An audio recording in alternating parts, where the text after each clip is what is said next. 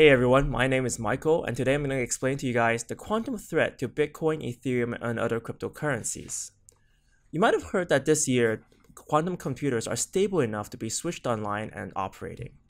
And you might have also heard that quantum computers can even break modern cryptography, and that applies to Bitcoin and Ethereum as well. In fact, there's also this fear going around that perhaps quantum computers can even break into our wallets and steal our money. And that's actually quite a big fear. And I want to kind of um, build a knowledge base around this to kind of understand this issue. So first, I'm going to explain to you what a quantum computer is, what it can do, and what threat it poses to cryptocurrencies. So first of all, quantum computers are completely different from classical computers that we know today. Instead of using kind of um, electrical circuits, they use quantum properties of atoms to do calculations. And instead of using ones and zeros, they use quantum states. And this is an extremely different way of approaching computing. Here we can see the quantum computer IBM Q in the background. And you can see these coils and wires. And it has to be frozen to a very, very cold temperature for it to even function to, and to be stable. So this year they're making breakthroughs and they're actually being able to make a quantum computer that's you know actually stable enough to do calculations. Well, quantum computers are actually special enough in the sense that they can actually do some calculations that can potentially break modern cryptography using an algorithm called Shor's algorithm. So before we kind of understand how this kind of all works, let's go back to the very, very basics of cryptocurrency. So if you look at cryptocurrency at its core, it has something that's called a public key, a private key as well. So it relies on this kind of key pair to work. And you ask, why is that important? Well, it's important because with cryptocurrency, you are not the most important person. For example, if in classical um, accounts and in classical bank banking, you can go to a bank and you can use your passport to kind of claim your account. So even if you lose your password, even if you lose your bank card, you are the most important person.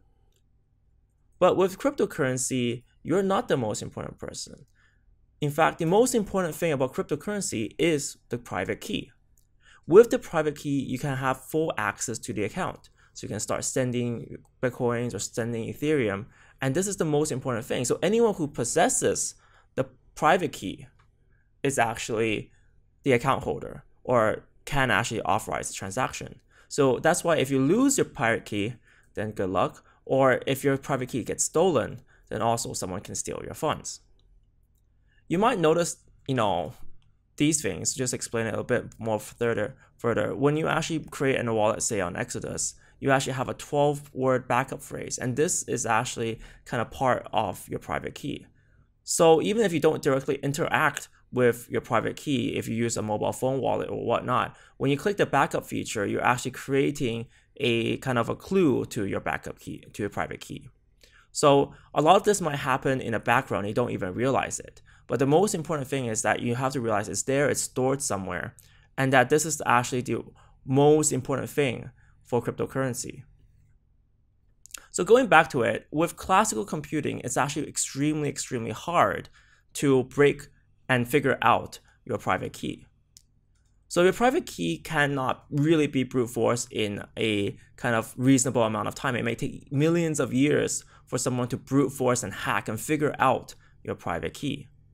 And this is the basis of modern cryptography as well. And there's private keys for even websites and you know for securing credit card transactions. They all use this similar concept.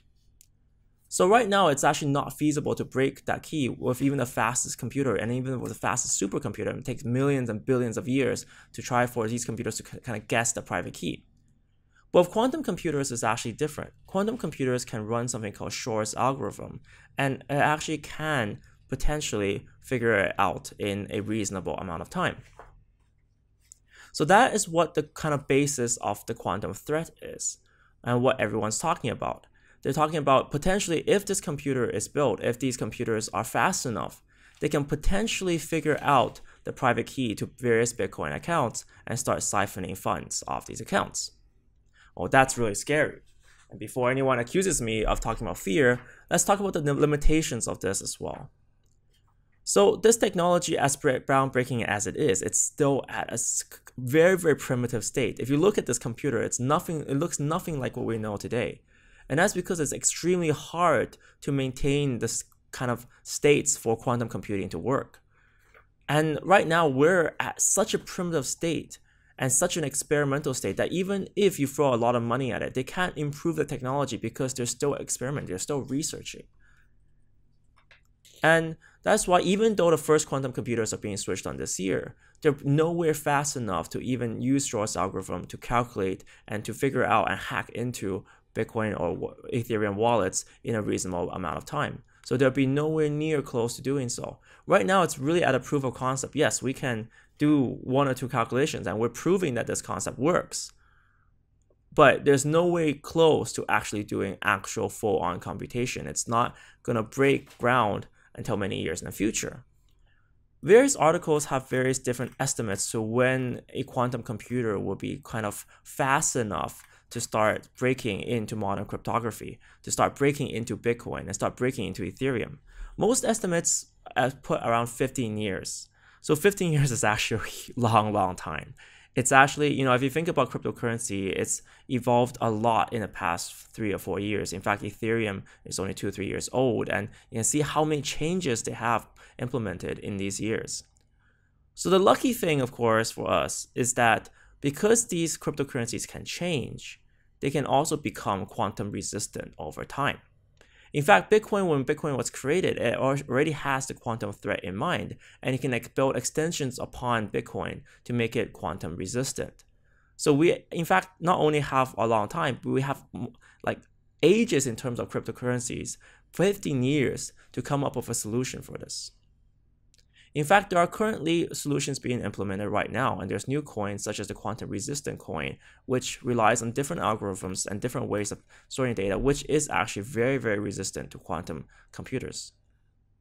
So that technology is already in play, and it's a matter of deploying it into current modern cryptocurrencies. So yes, quantum computers still do pose a threat to cryptocurrencies, but this threat can be negated by upgrades to the network. I would love to hear what you guys think about quantum computing. Are you guys excited for it? Are you guys afraid that it's gonna, you know, um, be able to steal your funds in cryptocurrencies? And what more do you want to know about quantum computing? Because this is actually a really interesting topic, and I would love to explore this further with you guys. Guys, thank you so much for watching this video. I make a lot of videos about various cryptocurrencies, cryptocurrency news, and more. So if you subscribe to my channel, you won't miss out on any of that. Guys, thank you guys so much for watching. See you next time.